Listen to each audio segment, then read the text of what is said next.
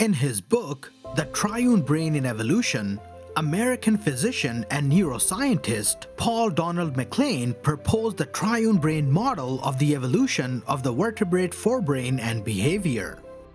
The triune brain, according to him, consists of the reptilian complex, the paleomammalian complex or the limbic system, and the neomammalian complex or the neocortex. This theory, which neuroscientists now agree is an oversimplification of reality, may still provide some real insight into the nature and potential diversity of alien minds on other worlds. So today, we will be discussing some possible alien life forms under the triune brain model. But before we begin, be sure to subscribe to our channel if you enjoy content like this.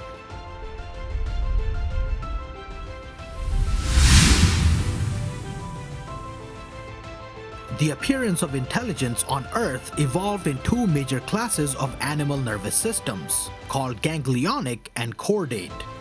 But although the ganglionic system has proved an enormous success on Earth among all invertebrates when it comes to data processing techniques to ensure a species' survival, there has been virtually no improvement in this design in all the hundreds of millions of years following its emergence. Why is this the case? And would it be possible for extraterrestrials to develop extremely high intelligence using a ganglionic nervous system? Well, chances are strongly against it. Evolutionary biologists believe that the system is simply too complicated when it is scaled up in size. With more and more units, ganglia become inefficient and difficult to carry or move because of their size, shape, and weight. While invertebrates tend to be restricted to smaller sizes for unrelated technical reasons, it is also true that large invertebrates of greater mass than vertebrates are not nearly as intelligent. For example, many lobsters are larger than squirrels, and many squids are vastly bigger than the most vertebrates, and yet these ganglionic creatures consistently are less intelligent kilogram for kilogram the system itself appears to be at fault. Furthermore, it has been also suggested that the ganglionic system is self-limiting.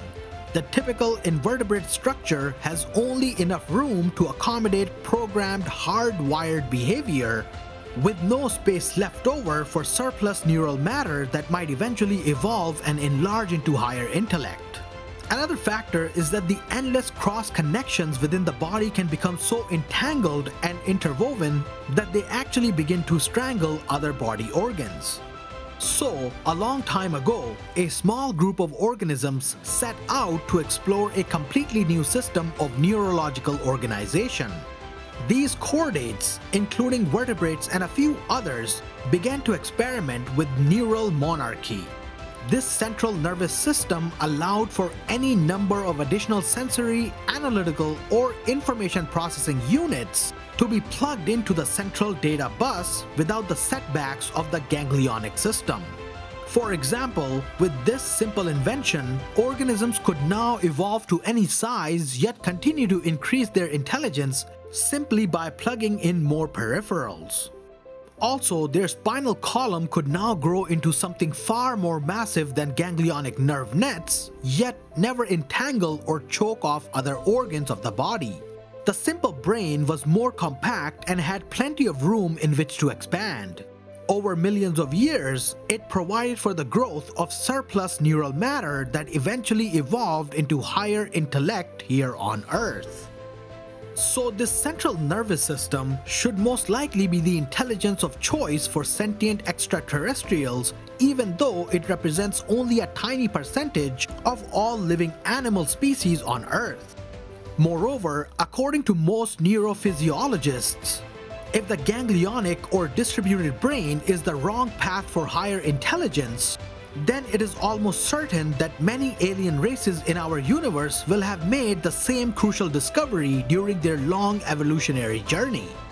Now, aliens on other worlds may have discovered other alternatives to the ganglia and the central notochord or spinal column, but we know for certain that the path of the chordates is a sound one, and this is why we expect the idea of notochords and brains to be familiar to aliens as well. But even if evolution on our world has selected the optimum basic configuration for neural components in the development of intelligence, we cannot expect the specifics of brain development on alien worlds to be exactly like our own. Among chordates, the most ancient component of the central nervous system is the plug-in spinal cord. So all sorts of interesting subsystems and advanced modifications could be hooked on as the organisms grew in size and complexity. But evolution works in such a way that once something original and extraordinary has been invented, it is generally retained and not thrown away. The new is built upon the old but does not replace it. This idea leads into MacLean's theory of the triune brain. He believes that this is exactly how the human brain evolved over the years. For him, the story of man's brain involves the slow formation over evolutionary timescales of three successive and overlapping brain structures that were plugged into the neural framework modular style, but which were never removed once nature was through with them. Following each evolutionary step, the older, more primitive modules were left in place and the new ones were plugged in on top of them. According to MacLean then, the human triune brain amounts to three interconnected biological computers, each with its own special intelligence, its own subjectivity, its own sense of time and space, its own memory, motor, and other functions. Each of these brains represents a major new evolutionary step. Now, because the current human brain has this unique tripartite structure, and since each of the primitive components is still present and operational, we are obligated to look at ourselves and the world through the eyes of three quite different mentalities. The earliest of the three human plug-in brain systems has been called the reptilian brain. This structure surrounds the midbrain in the neural frame and probably arose 300 million years ago with the rise of the first reptiles. The second unit was laid over the first, eventually taking over the higher organismic functions. This unit is called the limbic brain and probably arose about 150 to 200 million years ago with the emergence of the first mammals on Earth. The third and final unit, which appears in most of the higher mammals, is the neocortex.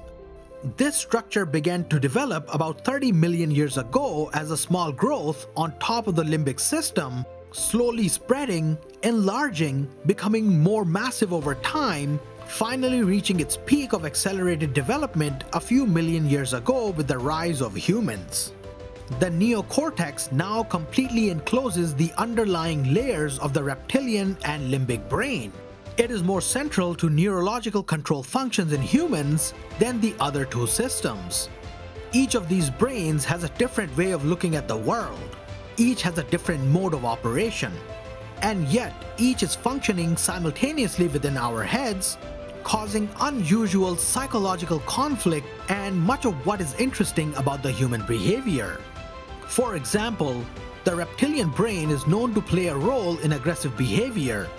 The limbic brain appears to generate strong, vivid emotions of various kinds, while the neocortex is responsible for higher human cognitive functions.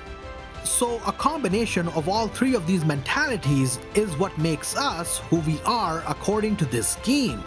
Now, what do xenobiologists or scientists who study alien life have to say about all of this? For them, it is not unreasonable to suppose that alien evolutionary patterns may also include some form of neural framework with plug-in components just like our own. Certainly, this evolutionary path is an adaptive course of development that encourages survival. But even then, expecting that neural selection on other planets will produce exactly the same neural structural overlays as our own is not very reasonable. Alien on other worlds may have only two higher brain systems or four instead of our basic three. And as a result, the distribution of behavioral functions and memory subsystems will likely be vastly different from ours. Nonetheless, it is not far-fetched to imagine alien beings who possess three overlapping brain systems that we humans have here on Earth. However, there is no reason to assume that their evolutionary journey will lead them to develop the exact same overlapping brain structure as ours. Planetary conditions and other such factors may perhaps lead to the reptilian brain dominating the other two systems, giving rise to reptilian intelligence. Or it may be the case that the limbic brain prevails on some other alien worlds, leading to what we call limbic intelligence. And even if the neocortex dominates alien minds, it may not be like our own, but vastly different from us humans due to different initial conditions. So what would even be the mentality of such creatures? How will they compare to us in their approach to life and everything else? Well, we will go into details on each of these alien types and what they may look like and how they behave at a later date, for now, we will finish off the video here and give you some time to think about this interesting topic. If you enjoyed this video and want to see more, do leave a like, share, and subscribe to our channel if you haven't already. Also, let us know your thoughts in the comment section down below. Until then, we'll see you in the next one.